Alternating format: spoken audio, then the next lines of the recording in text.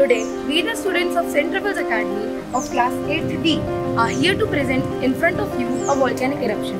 So, we have this bottle in which we have added baking soda and baking powder and vim liquid to enhance the speed and enhance power to erupt. So, we have taken a hole here and we are going to put this bottle.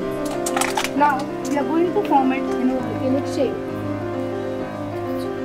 Now, this we have made previously. This is the current one which we are going to erupt right now. So, this uh, in this way we have added the bottle inside the hole which we dug in the soil and now we have covered it with the mud to form it in a volcanic shape. Now we are going to add vinegar inside it so that it will erupt due to the uh, pressure exerted by the gases inside. Because of the vim liquid, it can enhance and it will burn faster.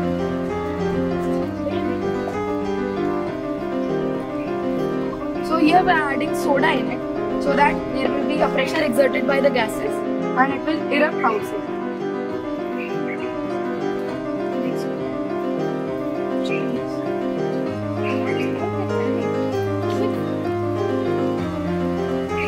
So you can see that how the gases present inside it are putting pressure. So it is uh, coming out in, uh, in a way of a volcano lava.